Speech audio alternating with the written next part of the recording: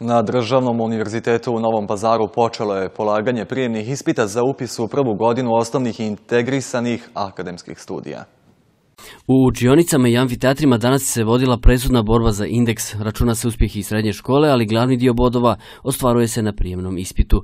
Zbog toga kandidati pred početak ispita govore o trudu koji su uložili, nadama i pozitivnim očekivanjima, ali i o tremi koja je često neizbježna. Ja sam prijavila arhitekturu i šta znam, dosta se njih prijavilo, a malo, manje mjesta ono se prima. Pa nadam se da ću proći, spremala sam se. Dolazim iz Sjenice, odličan sam džak, planiram matematiku ako Bog da. Spremala sam se pa šta bude. Nadam se da će rezultati biti pozitivni na kraju ovog prijemnog i da ću upisati u željeni smer. Uh, upisat ću za proban za vaspitača, pa šta bude, bude. Mnogo se plašim, ali dobro. U holu univerziteta uz mladiće i djevojke koji polažu može se sresti i poneko od njihovih roditelja. Ja sam roditelj djevojke koja želi da upiše ovdje fakultet, smer vaspitač u predškolskoj ustanovi.